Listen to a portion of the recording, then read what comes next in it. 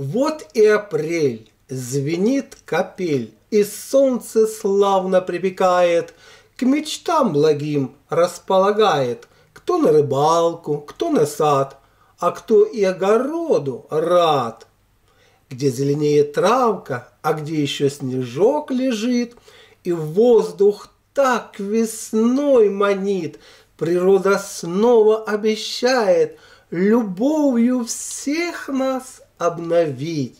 Я принимаю обновление, весны прекрасное творение, И соловьем запеть готов, В очарование погрузиться И жизнью милой насладиться. 19 апреля, день Евтихия, назван в честь святого отца Евтихия, архиепископа Константинопольского, мать Евтихия.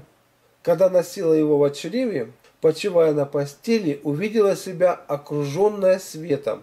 Она ужаснулась и размышляла, что бы это значило. Видение это предуказывало на имевший родиться от нее духовный свет, просветителя многих, оставшихся во тьме заблуждения. Сам обладал даром чудотворения и многих исцелил от различных немощей. Для этого мазал святым елеем и молился. По погоде в этот день судили, каким будет урожай яровых овощей, клевера и хлеба. Говорили, если на Евтихе безветренно, то ранние хлеба обильно родятся. К этому времени в садах начинали повсеместно зацветать яблони. Святому Евтихию в этот день часто молились и спрашивая здоровья для родных и близких. И все потому, что он прославился как великий целебник самых различных заболеваний. Например, он помог женщине, у которой постоянно рождались мертвые дети, родить двух здоровых сыновей. И исцелил двух глухонемых юношей. По силам ему была борьба и с душевными болезнями.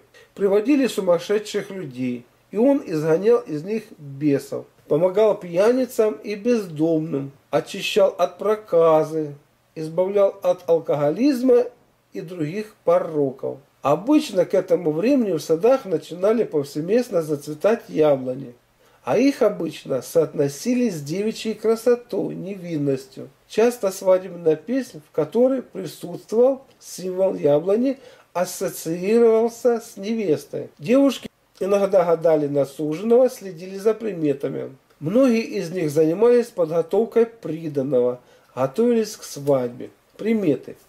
Если на Евтихе безветренно, то ранние хлеба обильно родятся, а ерема ветреный колосья хлебные собьет. Если полетевшие утки гнездятся в местах с большим количеством воды, будет засуха летом.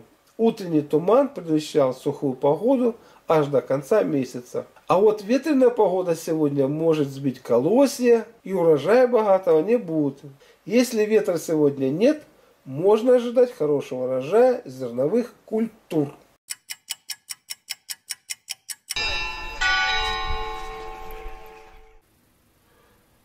Вот такой я на сегодня.